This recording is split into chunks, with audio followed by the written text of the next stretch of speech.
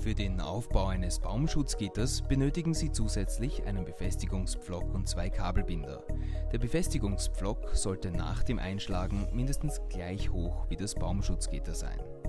Schlagen Sie den Pflock direkt neben der zu schützenden Pflanze im Boden ein. Falten Sie das Gitter auf, so entsteht der optimale Wuchsraum. Ziehen Sie das Schutzgitter vorsichtig über die Pflanze. Den Kabelbinder ziehen Sie an der neu entstandenen Falte ein und befestigen damit das Schutzgitter am Pflock. Einen Kabelbinder montieren Sie im oberen Bereich und einen Kabelbinder montieren Sie im unteren Bereich des Baumschutzgitters.